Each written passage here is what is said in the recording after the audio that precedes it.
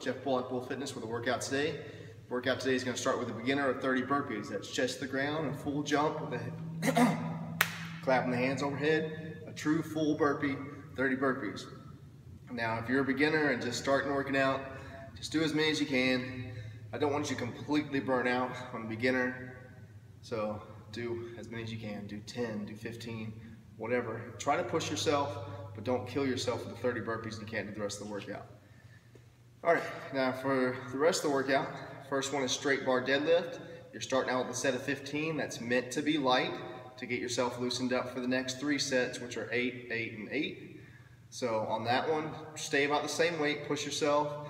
Uh, you may even you may need to go heavier, but typically you might even go a little bit lighter the last set to keep the form. But shoulders back, abs tight, get that butt down. Immediately after the deadlifts, jog over to the wall, get in the wall sit position. You're gonna hold that to failure. Hopefully that's at least 30 seconds. Try not to go any more than two minutes because we need to get moving on the workout.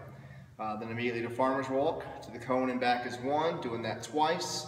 Then immediately to the row machine for 200 meters, and then a plate chest press, then roll over, right into regular push-ups, or push-ups on the plate, whatever you want to do, but push-ups to failure. So 30 of those chest plate chest presses, immediately over to push-ups uh, until you can't do any more, and then alternating plank rows, alternating plank rows with the dumbbells, so pulling the elbows up, 10 each arm alternating. The goal here today is to get four rounds, uh, but if you're, you know, if you're over 45 minutes post warm up into the workout, uh, that's a good goal. I mean, push, that's, that's a good time, 45 minutes, especially if you're coming a lot. Now, if you're only planning on coming one or two times this week, uh, then go ahead and finish the workout and do as much as you can.